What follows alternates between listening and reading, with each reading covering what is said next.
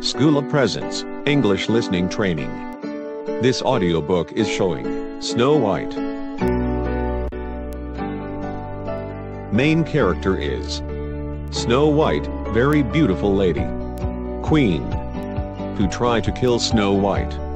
King's son, who help and get alive Snow White. Here is summary of story. The queen thought that she is the most beautiful in the world. When she asked who is the most beautiful in the world to a magic mirror, the mirror answered Snow White. The queen was furious, trying to kill Snow White.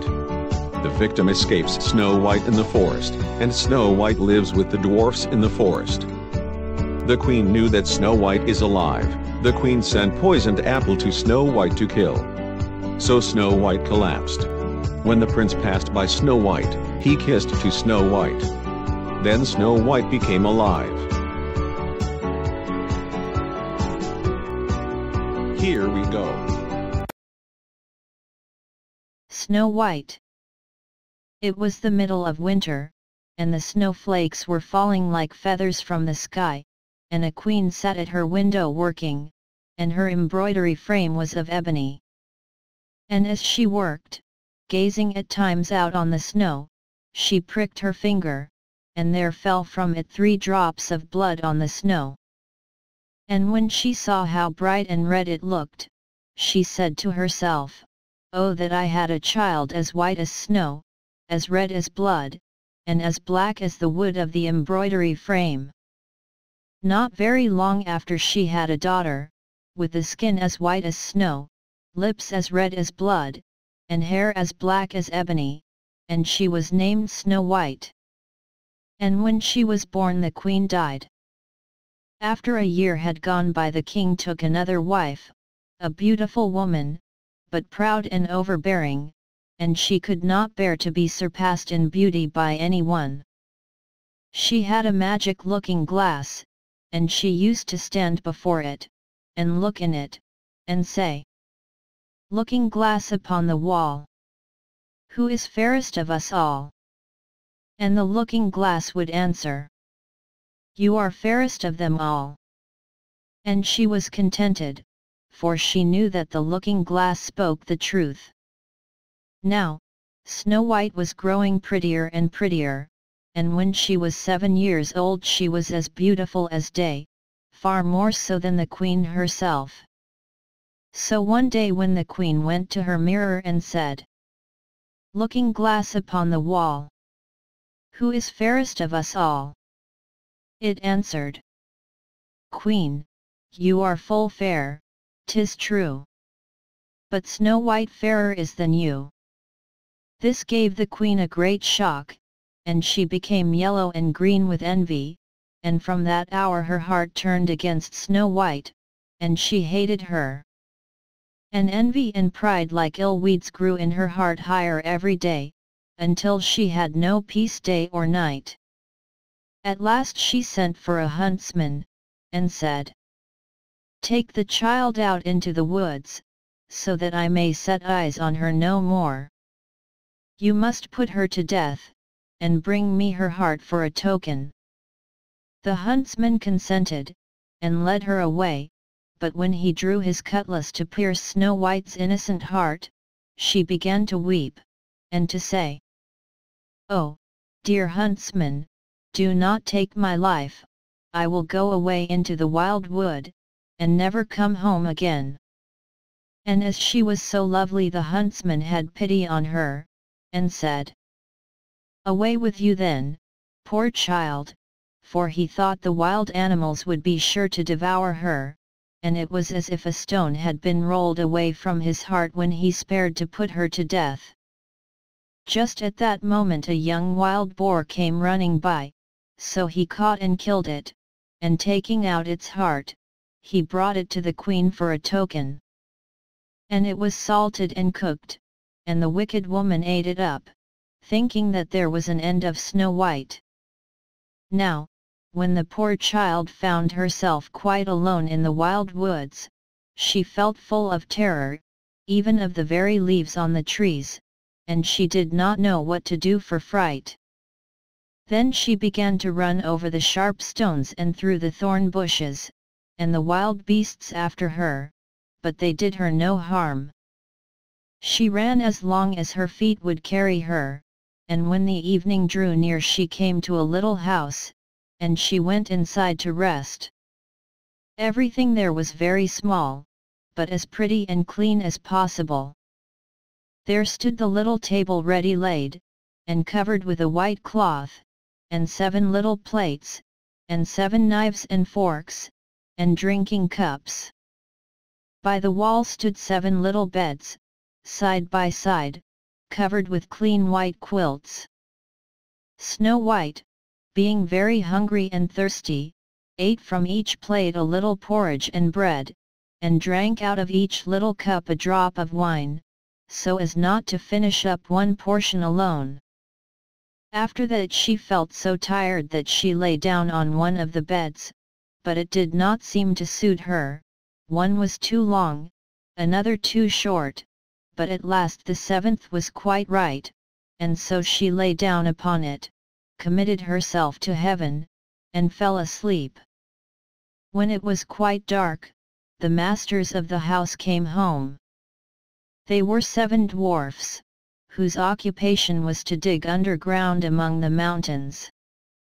When they had lighted their seven candles, and it was quite light in the little house, they saw that someone must have been in, as everything was not in the same order in which they left it.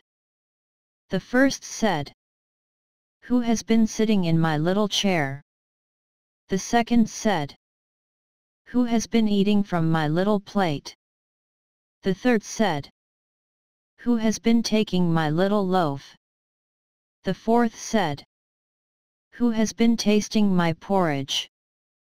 The fifth said, who has been using my little fork? The sixth said. Who has been cutting with my little knife? The seventh said. Who has been drinking from my little cup? Then the first one, looking round, saw a hollow in his bed, and cried. Who has been lying on my bed? And the others came running, and cried. Someone has been on our beds too. But when the seventh looked at his bed, he saw little Snow White lying there asleep. Then he told the others, who came running up, crying out in their astonishment, and holding up their seven little candles to throw a light upon Snow White. Oh goodness! Oh gracious! cried they, what beautiful child is this? and were so full of joy to see her that they did not wake her, but let her sleep on. And the seventh dwarf slept with his comrades, an hour at a time with each, until the night had passed. When it was morning, and Snow White awoke and saw the seven dwarfs, she was very frightened, but they seemed quite friendly, and asked her what her name was, and she told them, and then they asked how she came to be in their house. And she related to them how her stepmother had wished her to be put to death, and how the huntsman had spared her life, and how she had run the whole day long, until at last she had found their little house. Then the dwarfs said, If you will keep our house for us, and cook, and wash, and make the beds, and sew and knit, and keep everything tidy and clean, you may stay with us, and you shall lack nothing. With all my heart, said Snow White, and so she stayed, and kept the house in good order. In the morning the dwarfs went to the mountain to dig for gold, in the evening they came home, and their supper had to be ready for them. All the day long the maiden was left alone, and the good little dwarfs warned her, saying, Beware of your stepmother, she will soon know you are here. Let no one into the house.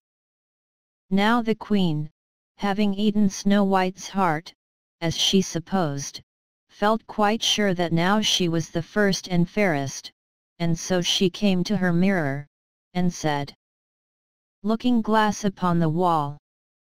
Who is fairest of us all? And the glass answered, Queen, thou art of beauty rare. But Snow White living in the glen, with the seven little men, is a thousand times more fair.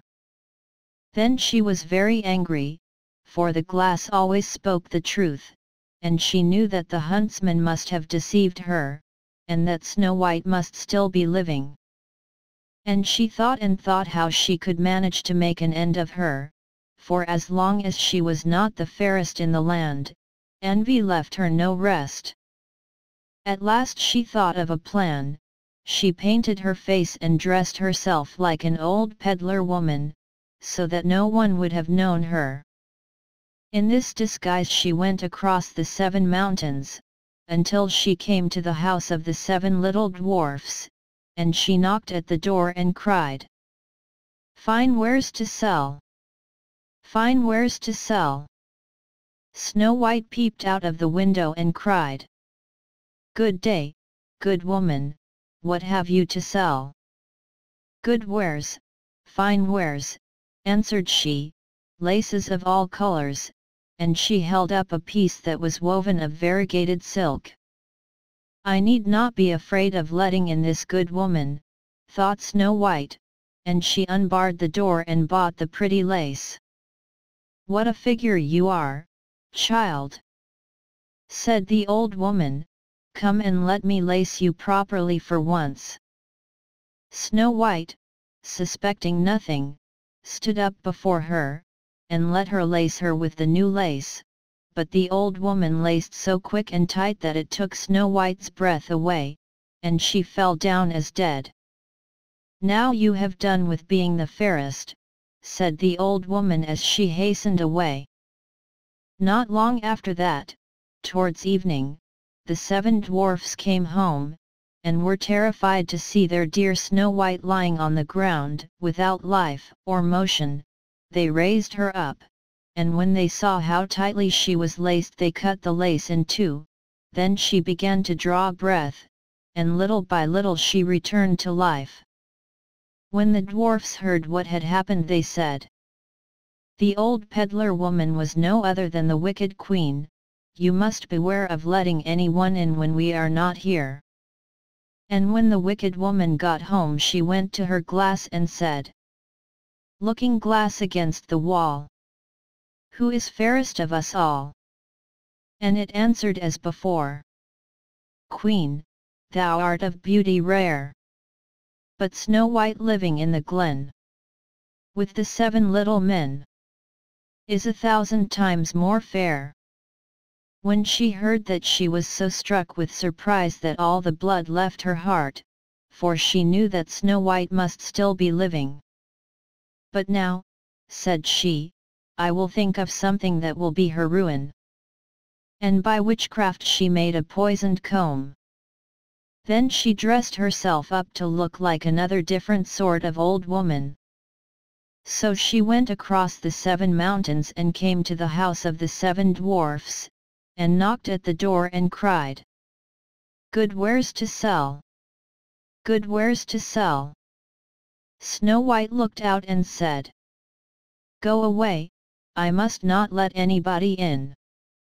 But you are not forbidden to look, said the old woman, taking out the poisoned comb and holding it up. It pleased the poor child so much that she was tempted to open the door, and when the bargain was made the old woman said, Now, for once your hair shall be properly combed. Poor Snow White, thinking no harm, let the old woman do as she would, but no sooner was the comb put in her hair than the poison began to work, and the poor girl fell down senseless. Now, you paragon of beauty, said the wicked woman, this is the end of you, and went off. By good luck it was now near evening, and the seven little dwarfs came home. When they saw Snow White lying on the ground as dead, they thought directly that it was the stepmother's doing, and looked about, found the poisoned comb, and no sooner had they drawn it out of her hair than Snow White came to herself, and related all that had passed. Then they warned her once more to be on her guard, and never again to let anyone in at the door. And the queen went home and stood before the looking glass and said, Looking glass against the wall. Who is fairest of us all? And the looking glass answered as before. Queen, thou art of beauty rare. But Snow White living in the glen. With the seven little men. Is a thousand times more fair. When she heard the looking glass speak thus she trembled and shook with anger. Snow White shall die, cried she, though it should cost me my own life. And then she went to a secret lonely chamber, where no one was likely to come, and there she made a poisonous apple. It was beautiful to look upon, being white with red cheeks, so that anyone who should see it must long for it, but whoever ate even a little bit of it must die. When the apple was ready she painted her face and clothed herself like a peasant woman, and went across the seven mountains to where the seven dwarfs lived. And when she knocked at the door Snow White put her head out of the window and said, I dare not let anybody in, the seven dwarfs told me not. All right, answered the woman, I can easily get rid of my apples elsewhere. There, I will give you one. No, answered Snow White, I dare not take anything. Are you afraid of poison? Said the woman, Look here, I will cut the apple in two pieces, you shall have the red side, I will have the white one. For the apple was so cunningly made, that all the poison was in the rosy half of it. Snow White longed for the beautiful apple, and as she saw the peasant woman eating a piece of it she could no longer refrain, but stretched out her hand and took the poisoned half. But no sooner had she taken a morsel of it into her mouth than she fell to the earth as dead. And the queen, casting on her a terrible glance, laughed aloud and cried. As white as snow, as red as blood, as black as ebony. This time the dwarfs will not be able to bring you to life again. And when she went home and asked the looking glass, Looking glass against the wall. Who is fairest of us all? At last it answered. You are the fairest now of all. Then her envious heart had peace, as much as an envious heart can have. The dwarfs, when they came home in the evening, found Snow White lying on the ground, and there came no breath out of her mouth, and she was dead. They lifted her up, sought if anything poisonous was to be found, cut her laces, combed her hair, washed her with water and wine, but all was of no avail, the poor child was dead, and remained dead. Then they laid her on a bier, and sat all seven of them round it, and wept and lamented three whole days. And then they would have buried her, but that she looked still as if she were living, with her beautiful blooming cheeks. So they said, We cannot hide her away in the black ground.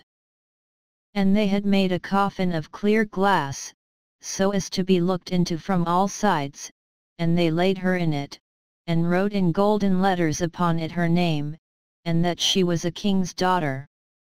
Then they set the coffin out upon the mountain, and one of them always remained by it to watch.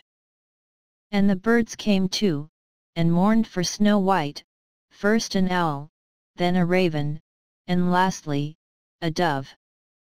Now, for a long while Snow White lay in the coffin and never changed, but looked as if she were asleep, for she was still as white as snow, as red as blood, and her hair was as black as ebony.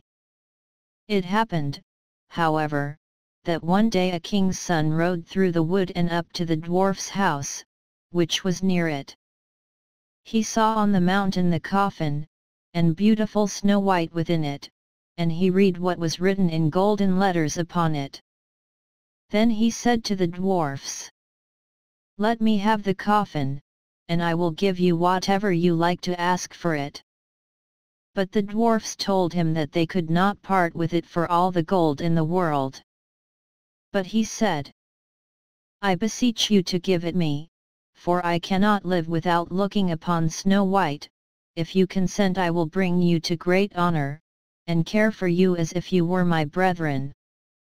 When he so spoke the good little dwarfs had pity upon him and gave him the coffin, and the king's son called his servants and bid them carry it away on their shoulders. Now it happened that as they were going along they stumbled over a bush, and with the shaking the bit of poisoned apple flew out of her throat. It was not long before she opened her eyes, threw up the cover of the coffin, and sat up, alive and well. Oh dear! Where am I? cried she. The king's son answered, full of joy, You are near me, and, relating all that had happened, he said, I would rather have you than anything in the world, come with me to my father's castle and you shall be my bride. And Snow White was kind, and went with him, and their wedding was held with pomp and great splendour. But Snow White's wicked stepmother was also bidden to the feast, and when she had dressed herself in beautiful clothes she went to her looking glass and said, Looking glass upon the wall. Who is fairest of us all? The looking glass answered, Queen, although you are of beauty rare. The young bride is a thousand times more fair. Then she railed and cursed, and was beside herself with disappointment and anger. First she thought she would not go to the wedding, but then she felt she should have no peace until she went and saw the bride. And when she saw her she knew her for Snow White, and could not stir from the place for anger and terror. For they had ready red-hot iron shoes, in which she had to dance until she fell down dead. See you next train. Skoola is providing great training program powered by TechScheme. Have it fun.